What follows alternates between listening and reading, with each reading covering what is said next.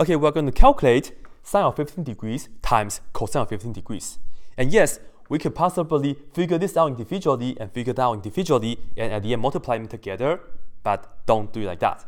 Because we notice that we have sine times cosine and the angles inside are the same, right? Let me show you another way to do it. So I'm going to utilize this identity here.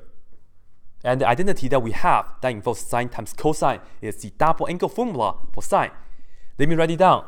We know sine of 2a, this is the double angle formula for sine, right?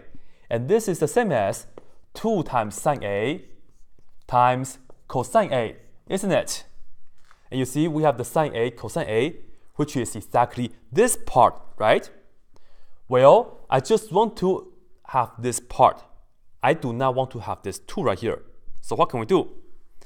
Looking at this identity right here, let's just go ahead, multiply 1 half on both sides. How is that? So that I can cancel out this 1 half and 2. Namely, I can tell you sine A times cosine A, it will be the same as that. And let me put this down onto the right hand side for you guys, which is 1 half times sine of 2a. And be sure the 2a is now the angle instead of the sine right here. And this is what we're going to utilize right there. All right?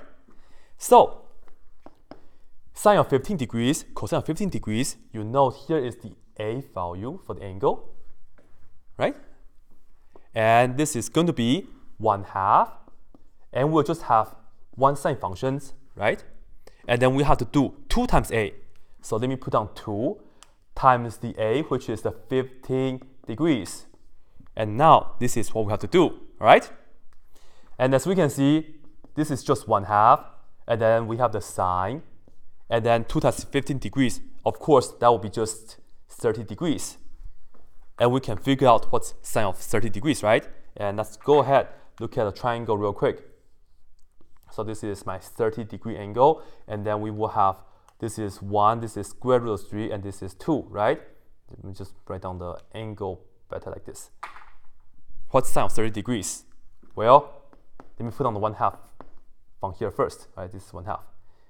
Sine of 30 degrees, as you know, is the opposite over the hypotenuse, namely 1 half for the sine of 30 degrees, right?